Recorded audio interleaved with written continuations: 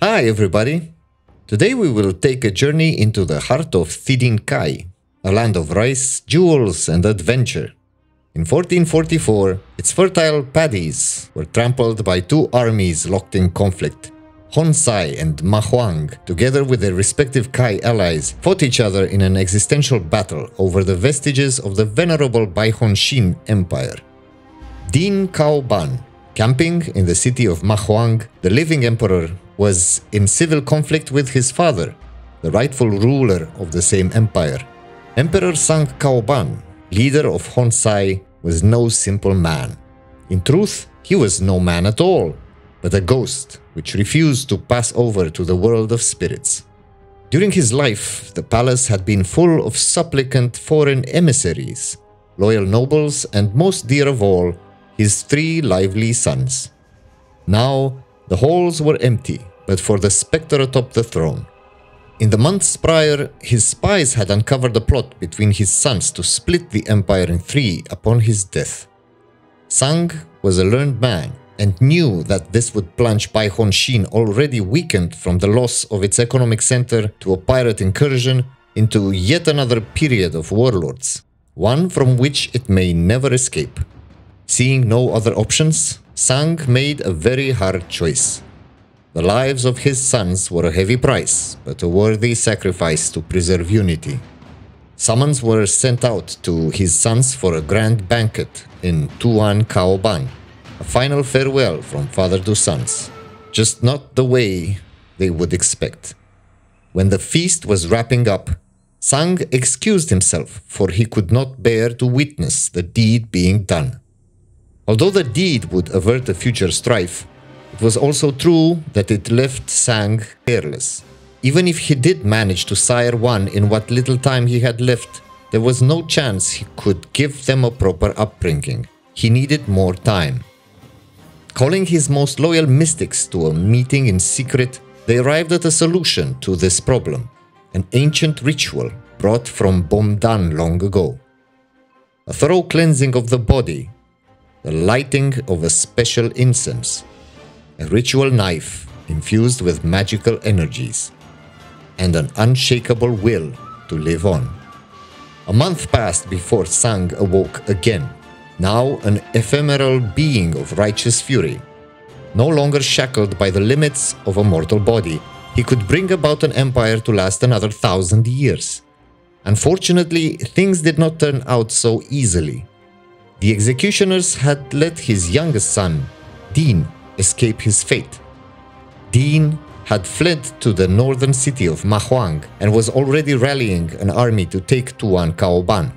Apparently, he had made extensive connections within the administration of the empire, and many nobles were flocking to his cause. The Republic of Kudet Kai was also openly supporting Dean's dynastic claim. In the frenzy that followed this revelation, another blow had arrived. The puppet king of Nagon to the west had raised his own army and declared independence, knowing that Honsai could not afford to contest his insubordination. Caoban Sang had not conquered death to give up now. It was time to call upon his remaining allies, the warrior women of Chien Bin Hrung, for war against the last of his flesh. The Kom Inhabitants of Honsai had battle in their bones. It had been this way for centuries. The tactics, cohesion, and drill of the great spear hosts would always win the day. On the opposite side, surrounded by foes, the Kudet Kai and Ma Huang troops had the maneuvering and the numbers advantage. Being able to potentially operate together, they could wipe the separated armies of the Ghost Emperor and their allies from the map with relative ease. Matters turned from risky to critical when the dwarven hold of Verkal Ozovar decided to join the fray and sent the armies of its vassals, 18,000 strong, to the central Thidinkai plains. The small jungle lordship of Hebat Hari decided to assist Honsai in exchange for the promise of help to retake their lands from the Pinghoi pirates to the south. Their 5,000 troops were more than welcome, but could they really tip the scales against the advancing Dwarven troops? Month later, the Sirtani offered a deal. These tribes were made of fierce cavalrymen and would be indeed an invaluable asset in the war. Their proposal was a stop to their border raids and immediate assistance to the Honsai armies in exchange for full looting rights during the war. Additionally, the tribesmen would be allowed to loot whatever they pleased after victory was to be achieved. Sirtani were known for their cruelty and barbarity, but in times as dire as these, their immediate help was more than necessary. Through focus and unity, the allied armies of the Ghost Emperor hunted the spread out regiments and army groups under the traitor's banner. Hill forts held strong and rice paddies were drowned in the blood of combatants as Caoban Sang's coalition marched slowly and methodically to the north. The Thidin Kai plains were a perfect staging ground for the ruthless Sirtani riders. Honsai's efforts of liberation were followed by brutal raids and heartless pillaging, as promised to the desert tribesmen. The jeweled matrons held their front in an exemplary fashion too, their northern borders were particularly inhospitable for the Kudet Kai vanguard.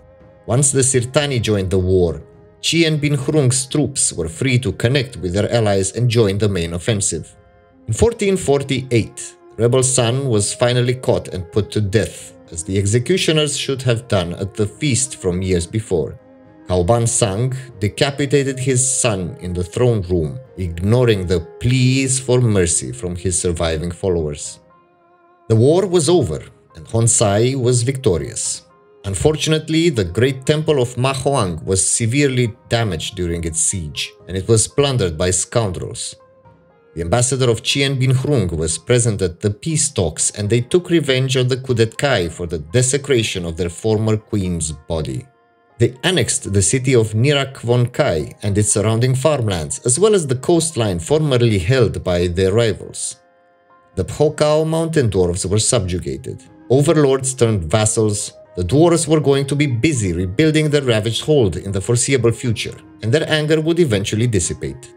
Hebat Hari was sent aid for their loyalty in tax revenue and manpower, and the Sirtani were allowed to ravage the reconquered lands, to the horror of the local population.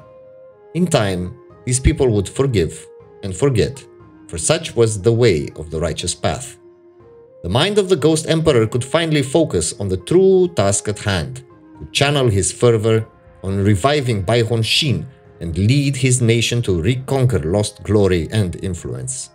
With the advent of peace, the armies would be free to rest and recuperate, replenishing their stores and refilling their ranks.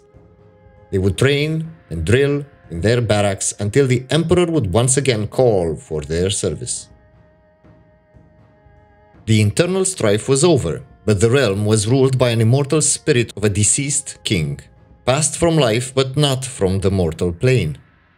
Only their sheer force of will allowed them to remain here, bound to the palace, incapable of leaving the throne. This had led to a lot of problems for the state itself.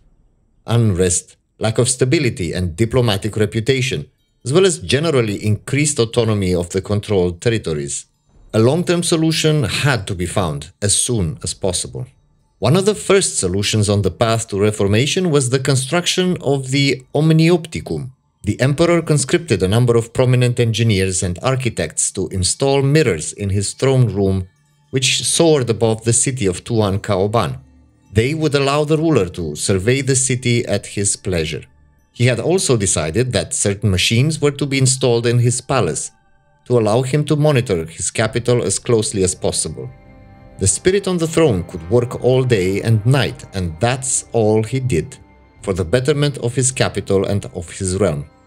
The ritual that bound him to reality was the product of his fury and his will, both greater than any other man's. But in maintaining that tie, he needed the help of the mages, they suggested an artifact that used the magic stone Tamphora as a concentrated power source to feed his being. Unfortunately, that blue stone was incredibly expensive, but they thought they had a lead. The damaged high temples in Ma Huang leaked a similar magical signature, indicating that they had Tamphora in their foundations. Certainly, somewhere nearby, there could be a mine that could serve the Emperor's needs, and with that in mind, the army was employed to help the mages' estate with their great survey for a source of the magical material. In less than a month, the board guard detachment of a mining expedition made a wonderful discovery. They took up small games to pass the time, kicking stones along the road as they walked. A small breach of discipline, but minor, and when one of the pebbles exploded in light and sound after being kicked, it was proved to be extremely fortuitous. From the pebble, the miners were able to identify a small seam of Tamphora and they started setting up extraction facilities in the province of Santun, halfway between the temple city and the capital. They could not be sure how long it would last, but every shred of the mage stone would serve the Ghost Emperor's cause. His concerns were not limited to maintaining the tether to the mortal realm and the improvement of his throne room.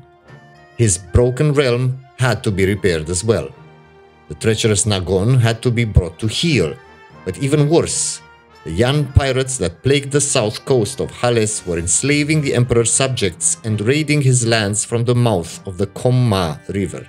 The Pinghoi may have had respect for the spirits, but did not care for the lives of the mortals they oppressed. Their presence was intolerable, and they had to be reminded that it was Honsai who ruled in these lands.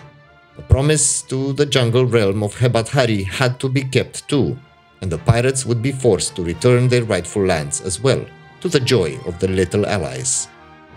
Wars are always costly in grain, supplies, and human lives, but the rewards from the coffers of the Yansheni corsairs were greater indeed, and the loot obtained was used to construct a mighty magical tower in the capital city. With the concentrated power and the expanded Tamphora mines, great artifact could be devised to bind the Emperor to the world more effectively, so he could concentrate on the necessary work needed to reforge his domains. Was this artifact a sculpture, a tool, a religious symbol? The contraption that the mages dreamt up had elements of all three. There, the motifs of a high temple, here a filigree of precious metal, though they claimed it was all for the purpose of harnessing the Tamphora at the relic's core. Even Caoban Sang might not have been able to decipher quite how it worked, but they knew that when the Ghost Emperor touched the device, it began to hum and a smile slowly spread across the sovereign's face. He had the will to lead Honsai.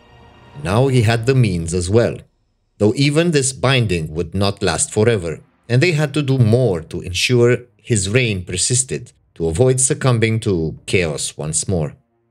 An anchor to reality was achieved, and the inner circle could observe the strength of their liege's tether to the mortal plane.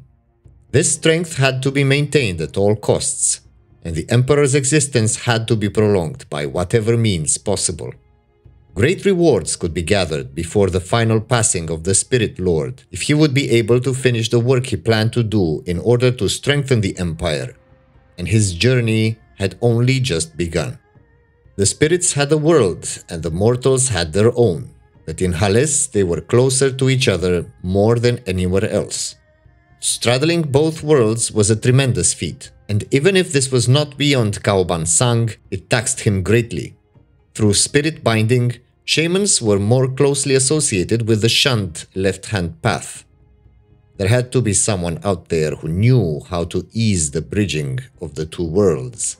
If they would find one and adapt their efforts, they could maintain the Ghost Emperor's vitality longer.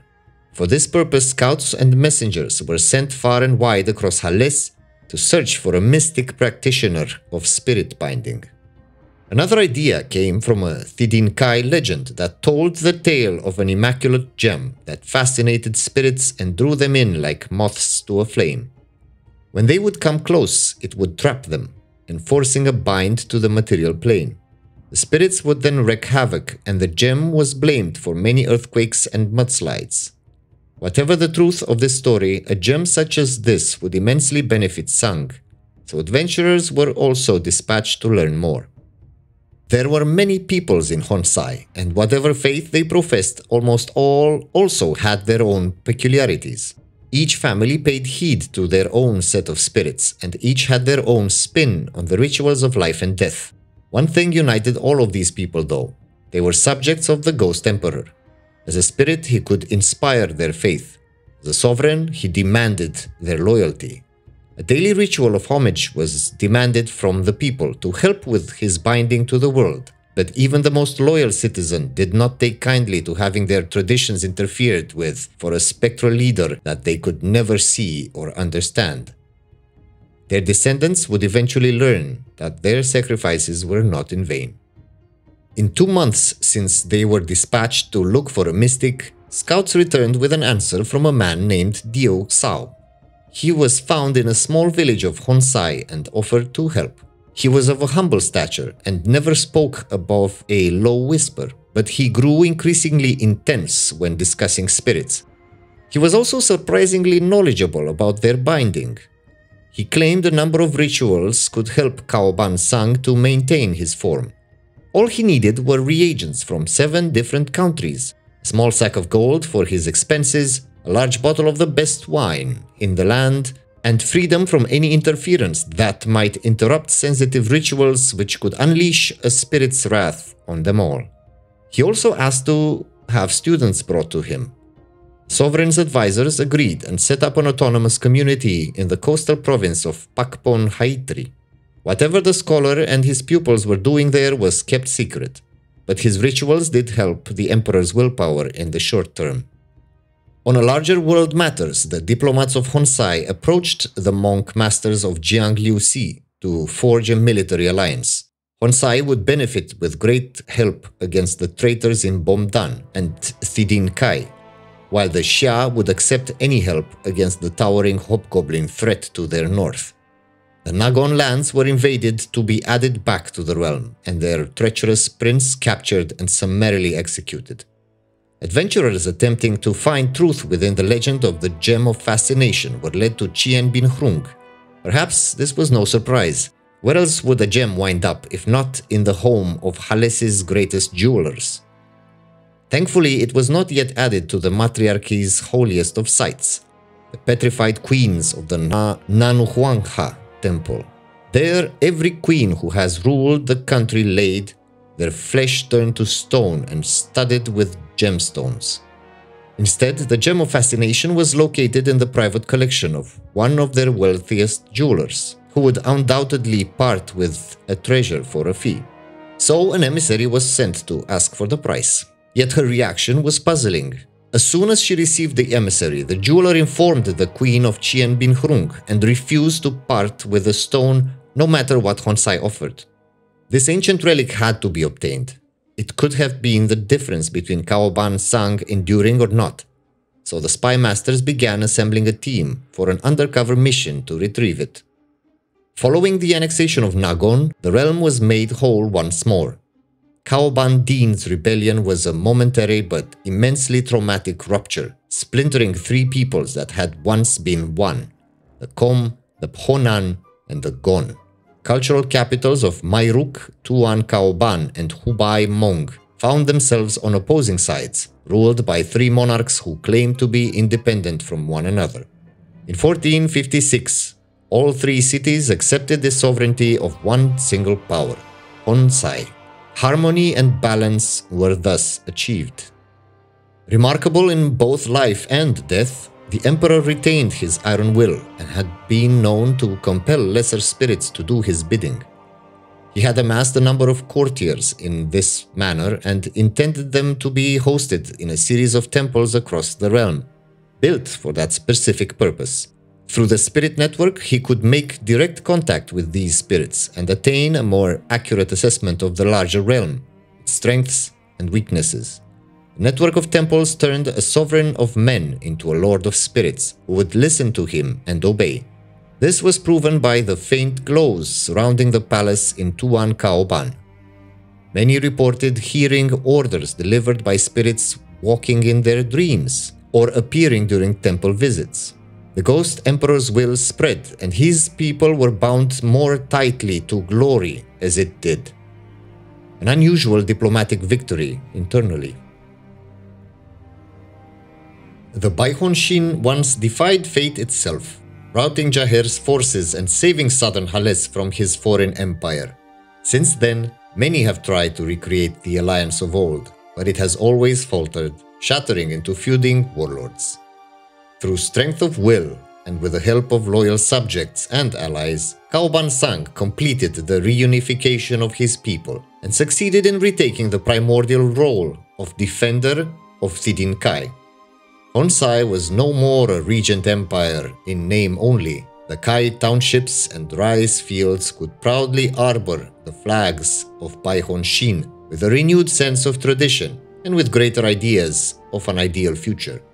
The splendid rebirth of Baihon Xinh and the aftermath of the common victory against the pirates of Ping Hoi brought the empire closer to the chiefdom of Hebat Hari more than ever before. Driven by admiration and trust, their chief, Hijinpu, proceeded to Tuan Caoban to swear a solemn oath of loyalty. He entered the throne room, knelt before it, and placed his crown in front of Sang before backing away. The deed was done, and the crown was earned, not through conquest, but through fulfilling promises and through righteous deeds. Hebathari would henceforth fight as a loyal march alongside their spirit sovereign. Reform of the government was also quite necessary. The Ghost Lord was immaterial, but his time in the mortal world was still very much limited. Proper institutions for the future of the realm were needed, the estates submitted lists of demands in exchange for their support of the reforms. Of course, they each wanted more power. Who could expect anything else? Nevertheless, their demands were met to a T and the Grand Congress was announced. When the day arrived, delegates from all estates gathered in the west wing of the palace. Bribes had worked, and everybody important attended in person to this event, later called the Ghost Congress. They all came prepared to milk the state even more than promised, but made a critical error in their plans. Most of the people present had never met the Ghost Emperor, and as soon as he entered the venue, everything was in his control. His presence demanded absolute devotion to one single cause, the development of Baihon Xinh, and to take revenge on all who wronged it. As a just ruler, the Ghost Emperor granted the promised privileges, but denied all further inquiries, of which there were only a very few. After a very efficient and productive meeting, the Congress ended totally in favor of Caoban Sang. People left invigorated by the spirit of Bai Shin and were now fully dedicated to the cause. It was done. At long last, the revolts from both treacherous kin and unfaithful allies had been put down and the lands of Baihon Xinh once more knew tranquility and the prosperity of just rule. That, however, was not even the height of their accomplishments. They had at long last brought true unity to the lands as never seen even in the days of Jaher's foolhardy attempt to conquer the great nation. In 1460, it stood as one, and it was well prepared to see that nothing shall ever shatter this unity. They would be ready to beat back every mote of darkness and show all Haless true righteousness. This was the effect of the Ghost Congress, and the Kai people rejoiced. But Caoban Sang never forgot that an hourglass was draining while he lingered in the mortal realm. With his people content within Baihon Xinh's borders, he could finally put his grand plan for the future of his empire in motion each step of the plan would bring more and more rewards for the realm after his final passing, and each of them was just as important as the others. There were many interlocking mechanisms of the realm that needed to be understood and repaired. First and foremost, the Empire had to figure out how to carry on the legacy of the Patriarch without his presence. All the estates and famous families gathered in the capital city of Tuan Baihon Xinh they all met in the palace to honor the Ghost Emperor and to discuss the time after he left the mortal plane. After a week of feasts and other debaucheries, where they plotted and made alliances, they finally all met in the grand hall of the palace to debate about the future form of government and submit proposals to the Ghost Emperor. Sometime later, they presented two options. One was the Twin Emperorship. They could keep the Ghost Emperor nominally as the ruler of Baihon Xinh, but install a co-emperor to assist the Ghost Emperor, who would deal with the affairs of the mortal plane. The other option was the Ghost Council, a form of republic where the Ghost Emperor would still be nominally the head of the government, but every estate and all the powerful families would have a seat in the council, electing a new counselor to represent them and function as the head of state. They eventually chose to be a republic, where a council would rule as a proxy for the Ghost Emperor, but the voice of the people could also be heard. Then, the coast needed to be reclaimed and secured against the plague of pirates that roamed up and down the Halessi coast. Coastal defenses needed to be built, a strong navy needed to be released at sea, and then war had to be brought to the pirates of Prukakin and Pinghoi. Forts had to be constructed on the northern border. Silk production had to be increased for the economy to prosper.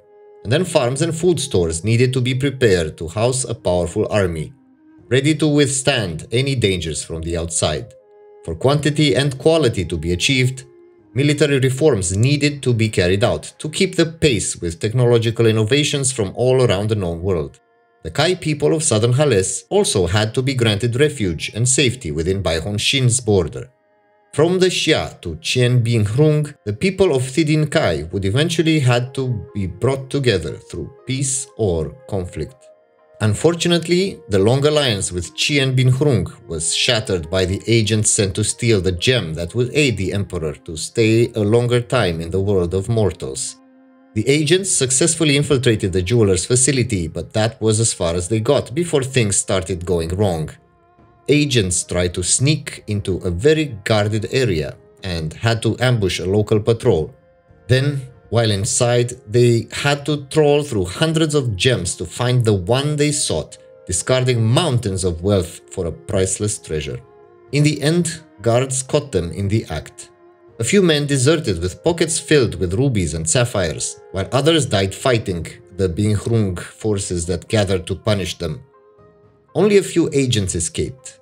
Even though they successfully salvaged the gem, they have forever ruined the alliance and earned the deepest enmity of Chien Binhrung. A very important part of the plan related to the citizens and their education. They had to be given the chance to always better themselves in understanding the world around them and the spiritual tools to live in harmony with the spirits.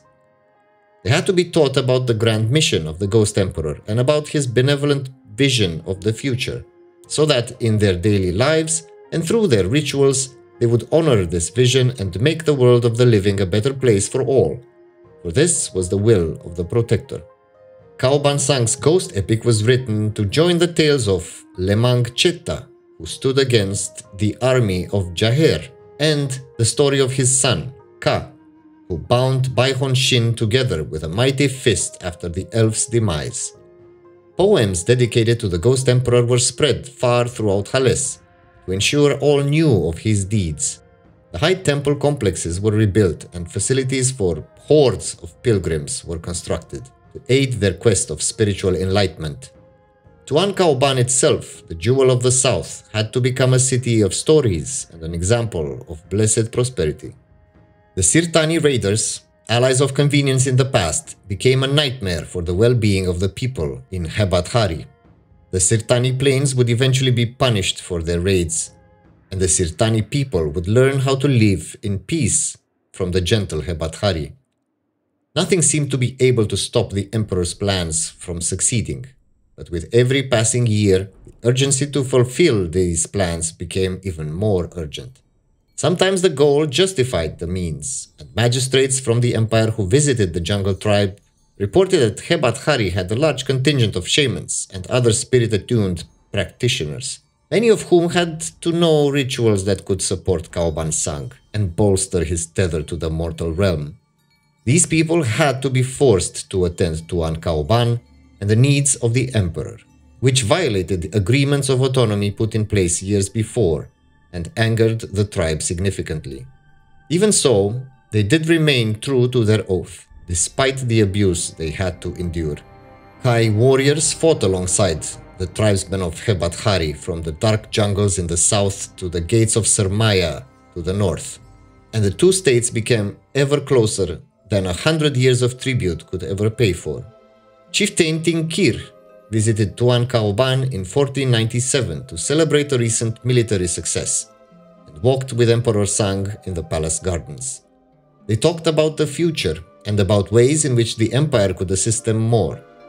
Hebat Hari had the chance to become more than a tribe of the Lupulan, and instead a true state of their own.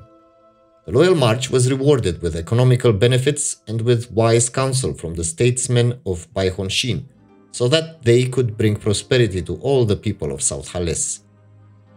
A great sadness gripped the emperor when he was forced to break another alliance with his warrior monk friends.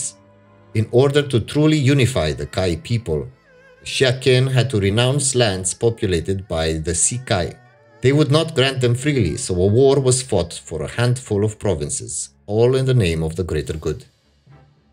All things end, and yet nothing ever ends. Such is the truth of the world. Though the Ghost Emperor was ready to leave, unlike his traitor sons, the Kai would never abandon his legacy. That much was certain. In 1501, almost 60 years since his existence as a spirit lord, his quest was finally over. No matter how blazing the noon, the sun still sets. No matter how strong the tree, it someday falls. And though the Ghost Emperor was a spirit like no other, an unparalleled monarch, his time had passed. The Kai were left with his legacy resolve, will, the path to follow. The time for rebuilding was over. They now stood proud as the foremost nation in southern Haless. They united the Kai people, defended their shores, reinvigorated trade, and were one of the main cultural centers of Haless. The streets of Tuan Caoban and of the other large cities were bustling with activity, selling all kinds of exotic goods. Year after year, the vassals came to the capital to pay tribute to the Ghost Emperor and honor his legacy. Time had come to consolidate their power and look beyond their strip of land, maybe even over the big sea. The Grand Republic of Baihon Xinh, whole and resplendent, was ready to stride into the future as it would see fit. Passing of Caoban Sang and the gift of his rule offered them the tools to safeguard their people and to spread their influence wherever they would choose. The Kai people called the Republic home, but other Halesi did not. For that reason, the Republic considered that it was important for different cultures to exist autonomously within the borders of their chosen states. These states, if they would clash with Baihon Xinh, would have to be turned into allies by force. One such troublesome state was Kaptei Teleni, who absorbed the mercenary practices of Lot de home of the mercenary noble Daulovs and Haless's greatest arena. They played a minor but important role in the destiny of Baihon Xinh. They rejected alliance, so just as Jaher won their loyalty by winning one of their great tournaments, so it seemed that only force would teach them their place. Such wars were a sad tragedy in a brutal world but the Kai army engineers learned artillery techniques from the dwarves in Verkal Ozovar, and their cannons, even if not as elegant as the dwarven ones, were definitely a sight to behold on the battlefields of Bomdan. Not being able to use the Spirit Messenger network anymore without Caoban Sang, the state had to build a proper postal service to transmit messages across the land to facilitate trade, governance, and tactics. Another consequence of the past was Dio Xao's school, the meek scholar who took up residence on the coast of the empire decades past turned out to have created a nightmarish community of horrors, which have finally come to light in 1506. Initially, there were conflicting reports, which were to be expected of the few terrified souls who have abandoned their ancestral homes to escape the left-hand path's influence. Some spoke of abductions, people simply not returning home after a day in the fields. Others spoke of nightmares beyond nightmares, dreams with evil spirits from which they could not wake. There was something very wrong in Pakmon Haitri. A small force was sent to the province and they found little in the way of the left-hand path. Any malefactors melted away like smoke in the wind rather to confront the soldiers, and the situation seemed to quiet down enough that priorities shifted from investigating rumors. But that did not last long. A massive force of sorcerers emerged from a hidden school, slaying the local magistrates and wreaking terror on the inhabitants. The deal made with Dioxao was ended, and so too was the Kai's patience. The Left Hand Path Army of Darkness had to be destroyed so that such moral and spiritual decay would never happen again. As if a giant had walked the land while trailing a finger in the earth, the Republic had carved a mighty furrow in Mahuang. But it was not merely a channel for boats and commerce to pass along. No, also featured a system of pulleys to help in loading cargo. There was even a canal side market to allow goods to be sold almost as soon as they were offloaded. Already trade was flowing easier, and more was yet to come. Tolls were taken and businesses were booming between the necropolis of Bimlao and the ports of Aravkelin. Cotton, silk, gems, Sirtani horses, incense and tropical wood for all. A Canorian merchant wrote in 1654 about what he saw in his travels across southern Haless. 17th. After an arduous voyage around Sarhal, we finally arrived at our destination in Chaikam Sin, the main trading port of Baihon Xinh. It was an exhilarating sight. Small fishing ships to great warships. Port was full of activity, Aside from some other Canorian ships uh, loading their cargo with cotton and silk, I saw bulky trade ships hoisting the flag of different Yansheni nations, elven ships from the Far East, and curiously, even some ships hoisting the pirate flag. Local sailors told me that uh, they were serving under a subsidiary of Baihon Xinh, protecting their interest and harming the competition. Unfortunately, my stay here is only short and I have to take a small riverboat to Tuan Caoban to accompany a diplomat to meet uh, with the president of Baihon Xinh. The 20th of the 6th. The trip to Tuan Caoban was short and we arrived early in the morning. What a sight to behold! Stories told in my hometown don't even come close to describing the splendor of Tuan Caoban. River Port was located a bit outside of the city.